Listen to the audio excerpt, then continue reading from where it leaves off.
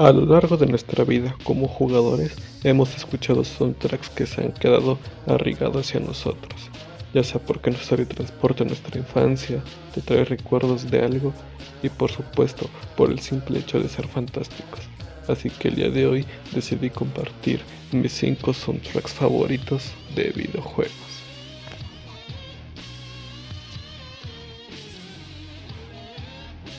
Battle Block Theater este es un juego que salió en el lejano año del 2013. Presentaba dibujos en 2D, pero un factor que acompañó muy bien al juego fue su increíble soundtrack, ya que iba muy bien con la estética del juego, lo cual, si de por sí ya era un buen juego, con esto le da un toque extra.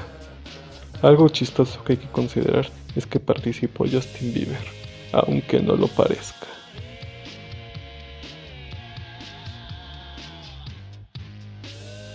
Grand Theft Auto 5.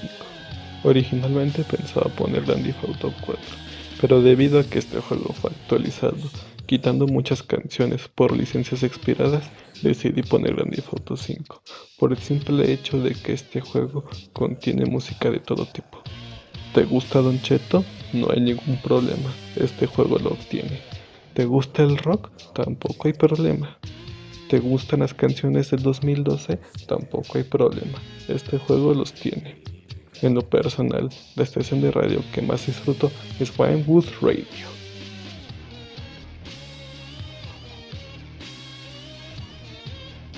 Crash to Insanity. ¿Qué puedo decir de este juego? En mi opinión, el mejor Crash. Sigo esperando un remaster, pero no voy a hablar del juego. Me enfocaré obviamente en sus canciones. Estas están hechas a capela. Esto significa que no se usó ningún instrumento, solo las voces humanas. Y eso le da un toque muy especial al juego, que lo acompaña de una forma excelente.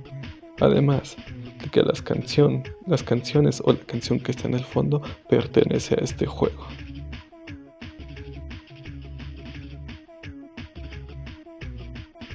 Halo 3 Marty O'Donnell, compositor de todas las canciones de la franquicia Halo, había experimentado con cantos gregorianos y de todo, pero si me dieran a escoger entre todos los soundtracks de Halo, me quedo con el 3, ya que este contiene otro nivel de soundtrack, algo más épico.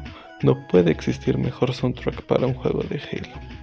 No por nada volvieron a utilizar fragmentos de estas canciones en el nuevo trailer del tan esperado Halo Infinite.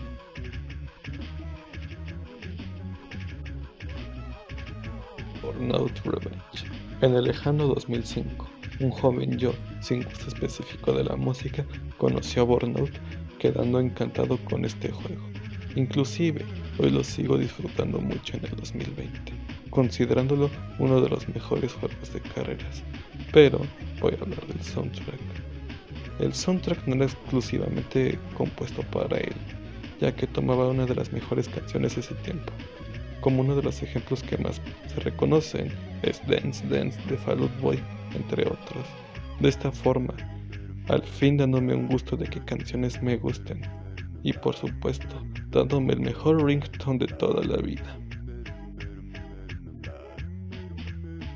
Muchas gracias por ver mi pequeño video hasta el final. Es algo que aprecio mucho 10 seguidores. Eres libre de comentar tus soundtracks favoritos y hacer lo que quieras. Gracias.